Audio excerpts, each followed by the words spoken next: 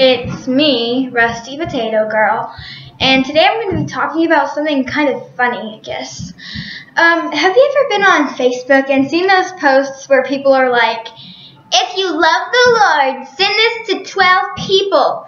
If you love the devil and hate the Lord, ignore this. Those.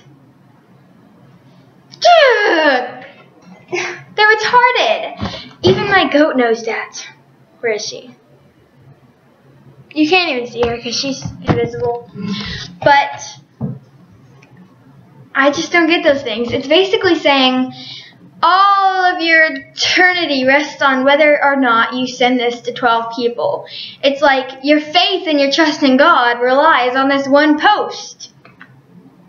Whoever posted that isn't allowed to because they're not God. If God posted that, yeah, I would send it to 12 people. But not if some random 15 year old kid or something posted it.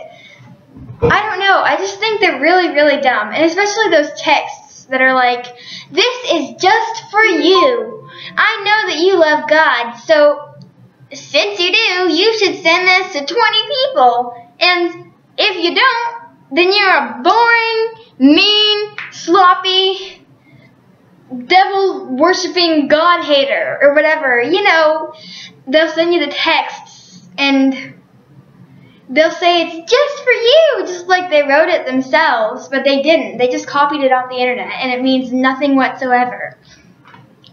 I mean, if you're going to do something like that, like something like text this to 12 people, make it sound like here's a hug, a virtual hug from your friend me or something, and then pass that on to people. But not if you love God, then do this. If you hate God and love the devil, then do this. I think that's just retarded, and if you're naive enough to believe that you're really something bad is actually going to happen, if you don't send this to 12 people, then you're really, I'm sorry, but you're really naive.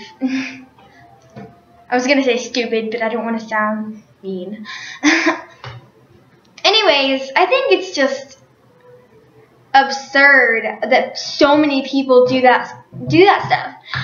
And the person who originally posted it, I mean, you can't think that they're a Christian because Christians wouldn't do that. They wouldn't say that your faith relies on this and all of eternity, whether you go to hell or heaven, all that rests on one post. And why would you do that? Whoever first made the first post like that,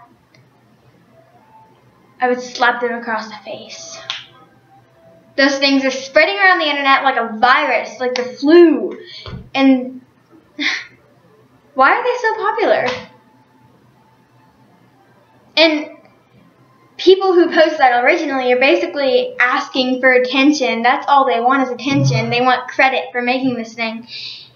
And if they want, oh, there's my goat. It's here now. Uh, right there. Yeah. Anyways, if they want credit, why don't they just put their name like, Hi, if you hate God, ignore this. If you love God, send us to 10 people. Or, yeah, whatever. And then from blah, blah, blah. I know you don't really get what I'm saying, but I think it's just really dumb. And that's all I really wanted to say, but over. Recipe girl. Bye.